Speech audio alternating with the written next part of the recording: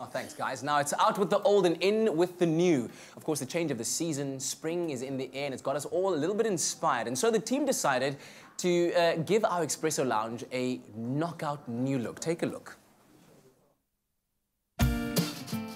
All had that moment where we sat at home and daydreamed about adding a splash of color to a wall and transforming it. But starting a paint project from start to finish can be daunting and we often put off the idea entirely.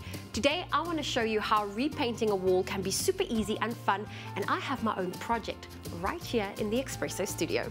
Dylan Tomage is an independent curator with years of experience in interior design, and that's why I've asked him, in combination with Duram Smart Paint, to give the studio a knockout new look. Hey, Dylan. Hey, Zoe. How you doing? Good. I'm so excited to work with you, and we have such a fun project to embark on. I think it's time we get rid of this yellow wall, give it a fresh coat of paint, and really transform the space. The team from Duram Smart Paint, they've given us everything that we need, and I cannot wait to get started and to hear what you have planned for us. So when taking on a, a painting project like this, people need to understand what paint they want to use and what color they want to use. So what matters is we need to prep the space first, but what we need to do is consider what furniture we put it into the space first. So let me see, what have you got planned? Ooh, look at that couch. Oh, this furniture is so beautiful. I think the team's going to love this, and I know we have a lot to get through, so what's our first step? So the, other than prepping the wall, we need to remove all the furniture. Okay, let's start. As well as the furniture, you also want to protect the floors. Then there's the matter of taking shelves off the wall, filling any holes or cracks there may be, remove any contaminants, wipe down the walls and allow to dry. Ah, look at this clean space. It's incredible. Now that all the furniture's out and we've prepared the wall, it's important that we need to make sure that the walls are really smooth before we actually add our primer to the walls.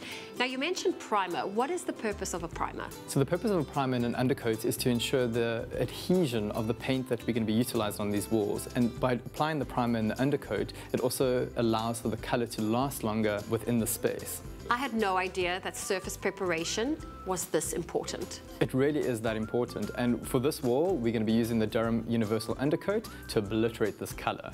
Can we start? Yes, please. Okay. Depending on your wall surface, use the most appropriate primer. Duram's range includes a plaster primer, ideal for new plaster, fiber cement, concrete and composite boards. Universal undercoat for primed or previously painted surfaces, or wood primer for most types of wood.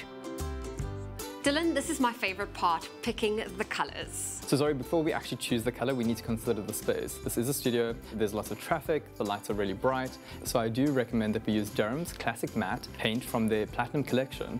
It is luxurious, with a smooth matte undertone. It is washable, and you can use it in a lot of high density areas. So sorry, I really think that this is the one that we should be using. This is a busy studio and keeping everything in mind what you've just said, what do you think of a sage green for the space? I love that, but I think we should be using a colour by the name of Dusty Loden. I really like that. And then maybe to team that up, which is slightly more bolder, we could potentially use the Provincial Park.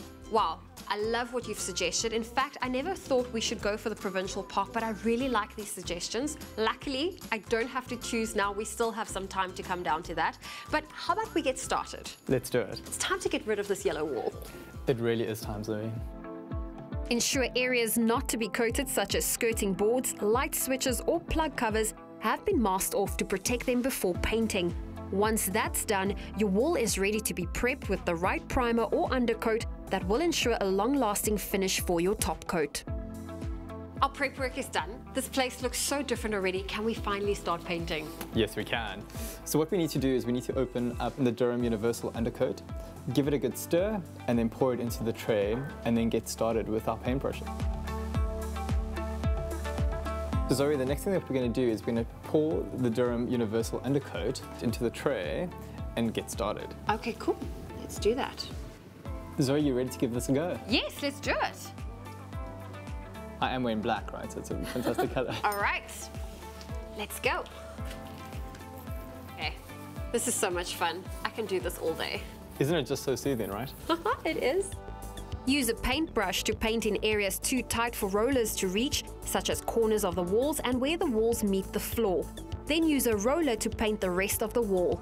Ensure the substrate is properly coated so that the surface does not show through the universal undercoat. all done. Ha, goodbye, Yellow Wall. This is amazing. And it was as easy as that. Yeah. And now we have the joys of waiting for paint to dry. so Zoe, have you decided which color we're going to go for? Hmm. So shall we go with the green Dusty Loden or the khaki Provincial Park? I really don't know which color to choose. I feel like that's too much pressure.